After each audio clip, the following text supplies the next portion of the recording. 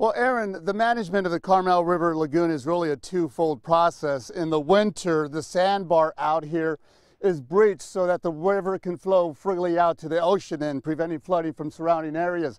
But in the summer, the opposite is true. They actually build up the sandbar so no water can come in and out. And that's exactly what they did today. All part of an effort to save a threatened fish. Heavy equipment started moving tons of sand Monday morning, enough sand to fill 120 large dump trucks. They're closing a channel that connects the Carmel River Lagoon with the ocean, and in the process, hoping to help save the threatened steelhead trout that are too young to survive in the ocean. The steelhead are still able to, to breed and to grow. Uh, we are just trying to optimize that habitat so that they're able to, more of them are able to mature further so that next winter when the lagoon is ready and they're ready to go out to sea, they're healthy and strong. If the channel isn't blocked, the lagoon will dry up during the summer. Water levels too low for the steelhead trout to thrive. We're in a better position this year, but still not very good.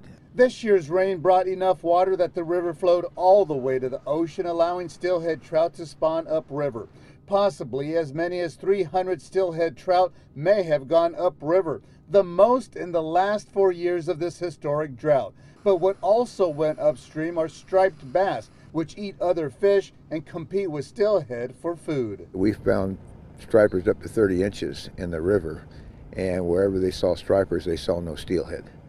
So, you know, we can't prove cause and effect, but anyone who fishes believes stripers eat steelhead. So any fish coming down the river trying to make it to the lagoon has a tough road to hoe. Hmm. So really some mixed news coming out today regarding the threatened steelhead trout, but today some action taken to ensure at least a summer home for the fish here at the Carmel River Lagoon. Aaron? Felix, thank you. A more permanent plan for managing the Carmel River Lagoon is currently in the works and a preliminary environmental impact report is expected to be released next month for public review.